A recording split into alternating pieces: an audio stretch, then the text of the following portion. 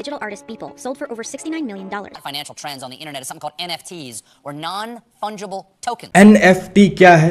कैसे करते हैं? क्या इससे पैसे कमाई जा सकती है? क्या one lakh two lakh ten lakh per month कमा सकते हैं क्या?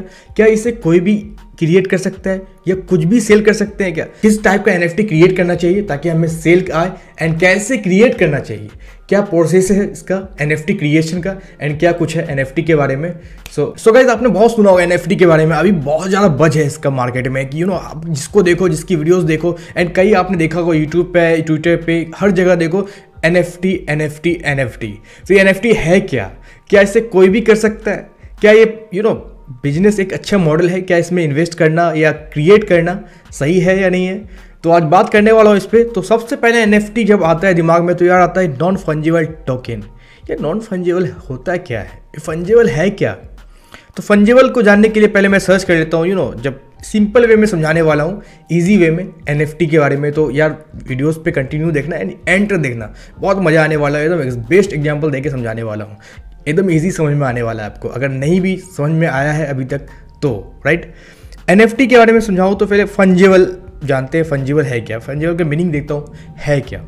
तो जब मैंने सर्च करा फंजिबल का मीनिंग तो आप देखो यहाँ पे क्या लिखा हुआ है replaceable by another identical item right तो इससे ये पता चलता है कि अच्छा फंजिबल का जो मीनिंग है, वो है रिप्लेसेबल अब बट अपने को क्या यहाँ पे है? Non fungible means non replaceable ऐसा आइटम ऐसा कुछ, ऐसा चीज़ यूनिक चीज़, जो कि नॉन रिप्लेसेबल है। अब बोलोगे, यार नॉन रिप्लेसेबल कैसा हो सकता है? एग्ज़ाम्पल दो मुझे।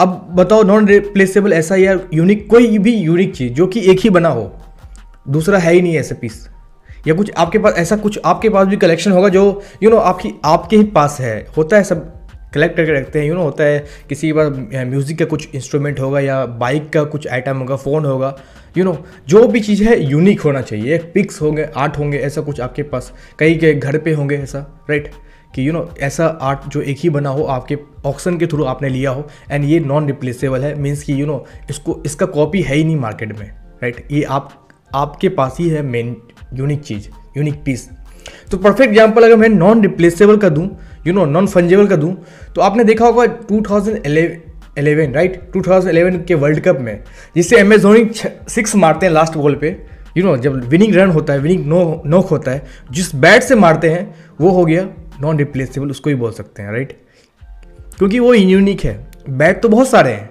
बहुत सारे शॉर्ट्स लगे होंगे, बहुत सारे सिक्स लगे हैं। बट वो जो सिक्स था 2011 में वर्ल्ड कप में विनिंग रन वो क्या था? यूनिक था। वो एक ही होगा। तो मुझे लगता है जो बैट है, वो भी एक नॉन रिप्लेसेबल हो सकता है। नॉन रिप्लेसेबल नॉन फंजिबल आपका हो गया। एक बैट भी हो गया जो एम एस धोनी के पास है। या तो क्या है?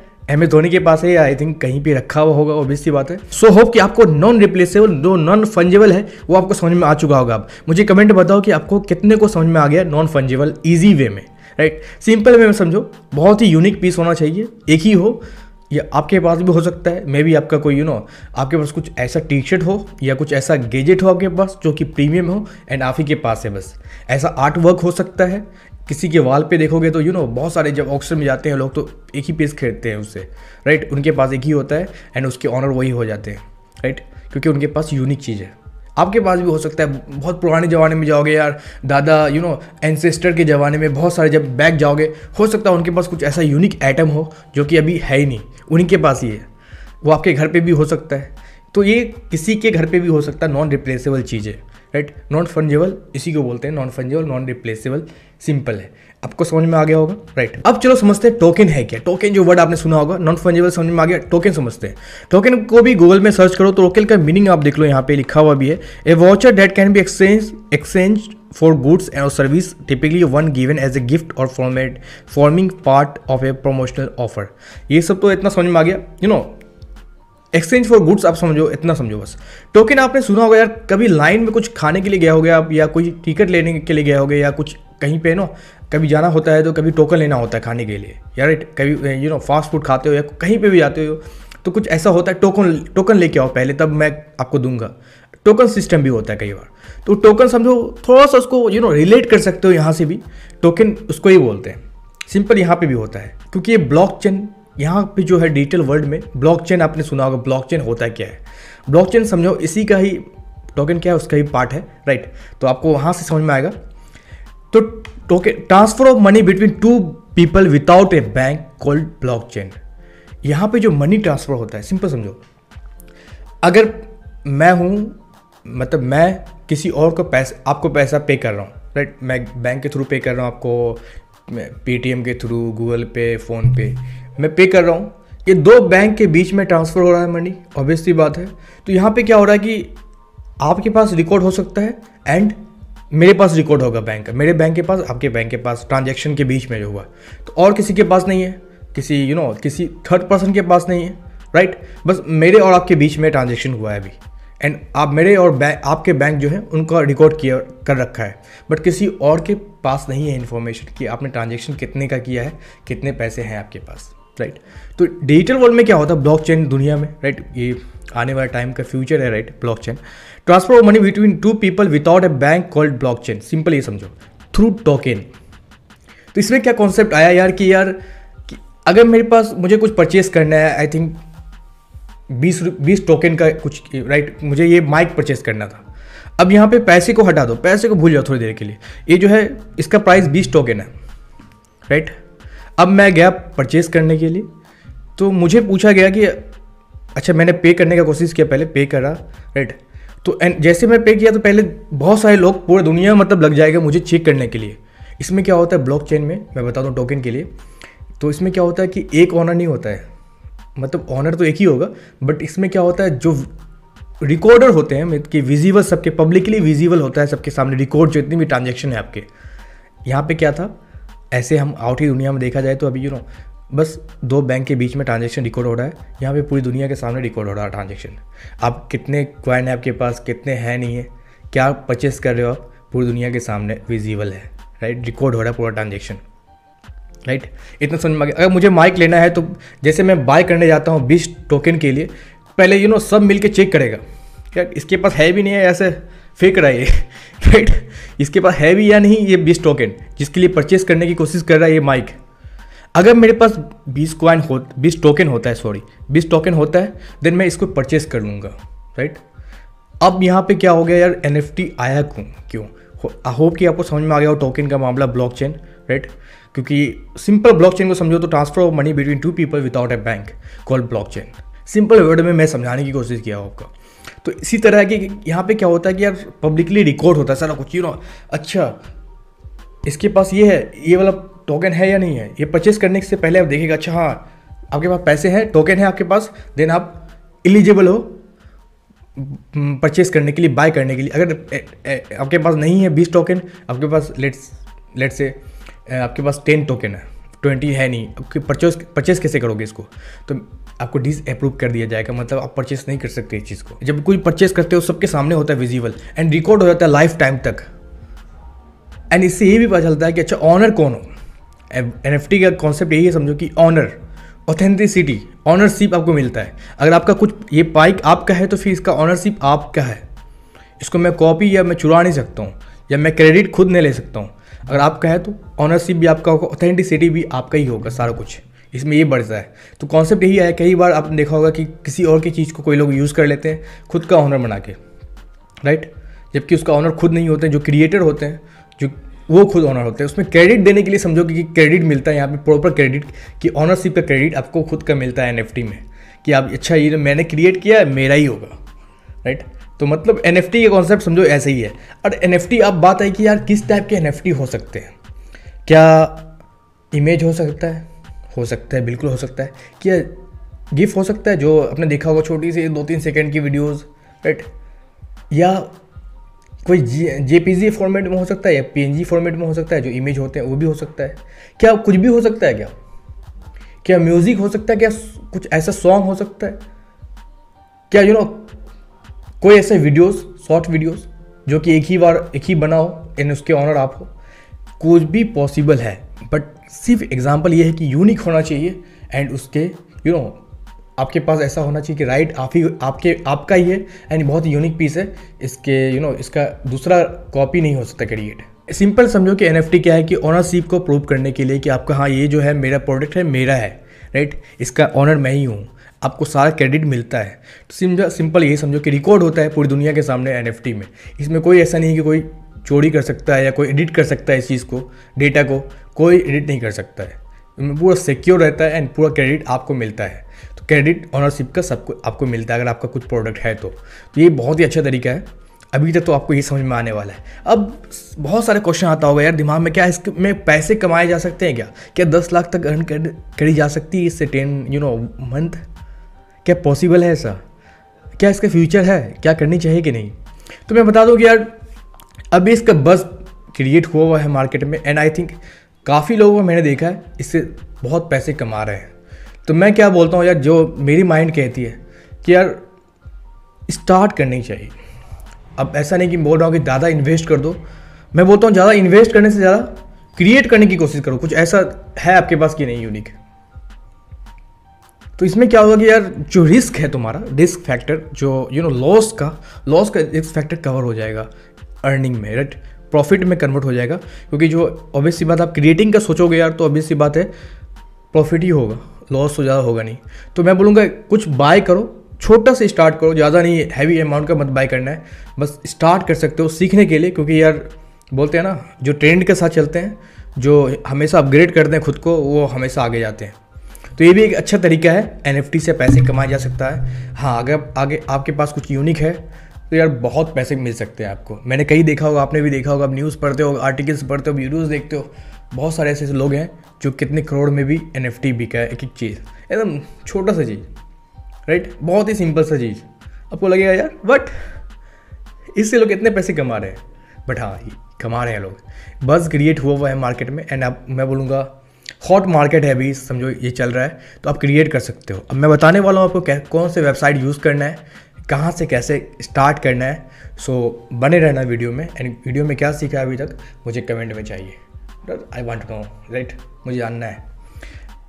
सो बेसिकली एनएफटी यही होता है राइट नॉन फंजेबल टोकन तो आपको समझ में आ गया होगा नॉन फंजेबल टोकन जिससे यहाँ पे लिखा ऑल ट्रांजेक्शन जो है जितने भी ट्रांजेक्शन करते हो रिकॉर्ड होता है पब्लिकली ऑन द इंटरनेट कोई इसको एडिट नहीं कर सकता कोई भी एडिट नहीं कर सकता है। सिंपल ये समझो कि ऑल ट्रांजेक्शन रिकॉर्ड होता है पब्लिकली राइट कई बार बैंक में होता है कि आप बैंक से कुछ निकाले, उसमें भी कर सकते हो, इतने आपके पहुँच है तो एडिट उडिट हो सकता है बड़े लेवल पे।